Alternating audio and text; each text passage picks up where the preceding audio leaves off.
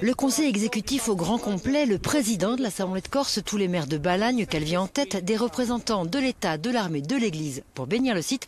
C'est peu dire que l'inauguration du centre de conservation et de restauration du patrimoine mobilier de Corse a drainé de la foule cet après-midi au Fort Charlet sur les hauteurs de Calvi. Il faut dire qu'elle était attendue depuis longtemps. La réhabilitation de cet ancien fort militaire du 19e siècle avait été décidée en 2006 par la collectivité de Corse. Il a fallu 13 ans, 8 millions d'euros financés par le pays, mais surtout il a fallu un projet. Les précédentes mandatures avaient mis sur, euh, les rails la construction, mais euh, sans projet et sans équipement. Nous l'avons doté d'équipement, nous l'avons doté euh, d'un projet d'établissement. Nous avons renforcé l'équipe puisqu'il fallait un conservateur à la tête de cette équipe.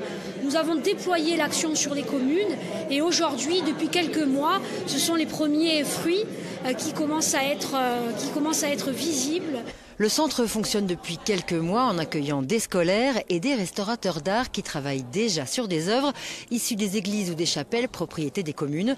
Un inventaire est en cours dans toute l'île.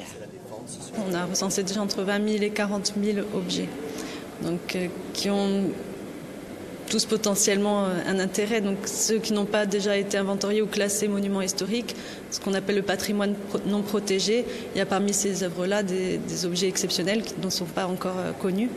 Donc euh, la restauration, c'est aussi le moment, le prétexte et le moment de la connaissance de l'objet. Dans les ateliers mis à disposition, nous avons eu la chance de rencontrer des restauratrices en plein ouvrage sur une œuvre exceptionnelle. La Madonouche, la statue antilleule, est en cours de restitution pour retrouver ses plus belles couleurs. Il y a, vous le voyez, beaucoup de travail, mais on nous l'a assuré, elle sera rendue aux Ajacciens avant la procession du 18 mars.